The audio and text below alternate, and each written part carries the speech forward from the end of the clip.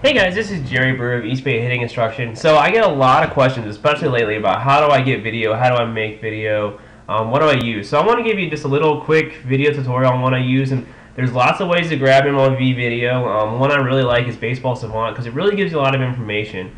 And so if you fire up Baseball Savant and you come over to applications, you can check out the spray chart compare. And it's a really, really cool tool, okay?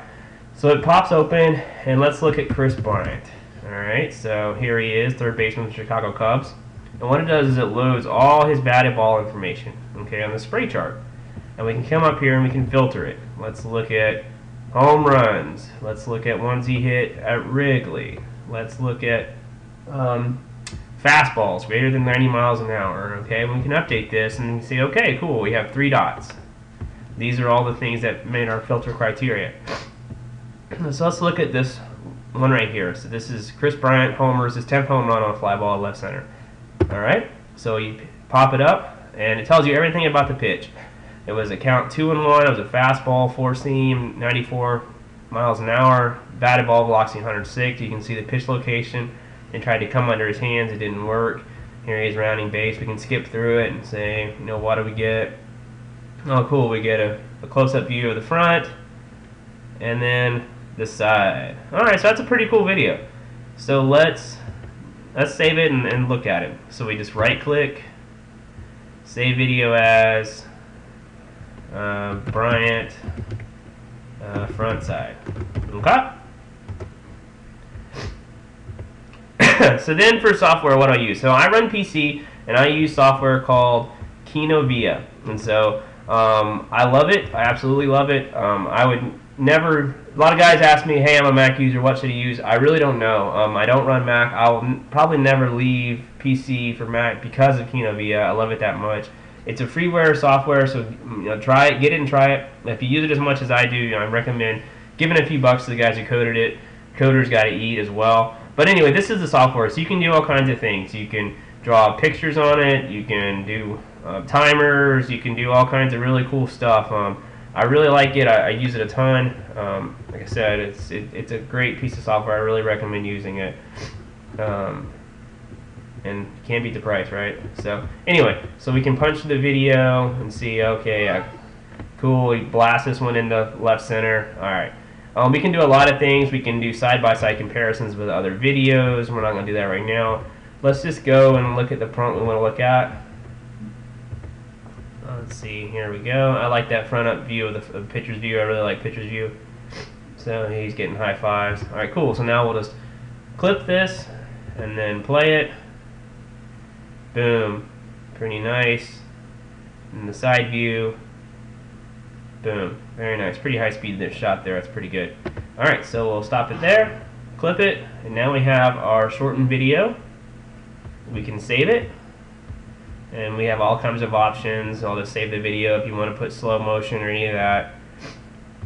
And then I'll just call it, to put it in a folder I'm goofing around with. Pardon me while I do this. And so we'll call it Bryant uh, front side cropped.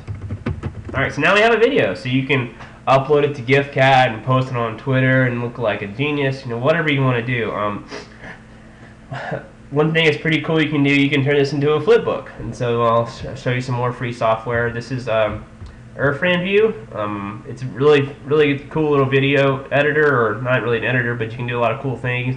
You can open the video um, and export all its frames. And so that can do some pretty neat stuff there if you want to make a gift or whatever you want to do. So I'm going to open this video. And here's the video I just made. And I have all kinds of neat options I can do here. I can, one of them I like to do is you can extract all frames.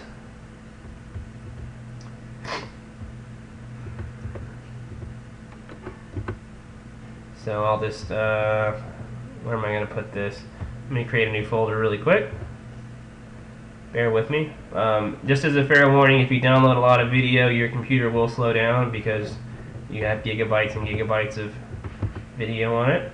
So I'm going to create a new folder. Let's call it Bryant. Okay. So now I can go over here and put all these So now what I've done is I just took all the images from that folder, from that video, and I just now have them individually into a into a folder. So I can create this in the Gfycat, I can pull in the PowerPoint and make a um, flipbook. Let me show you how to do that. Insert, photo album, from file, recent places.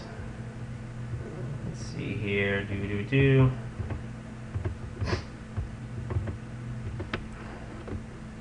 Select them all. Blah blah blah.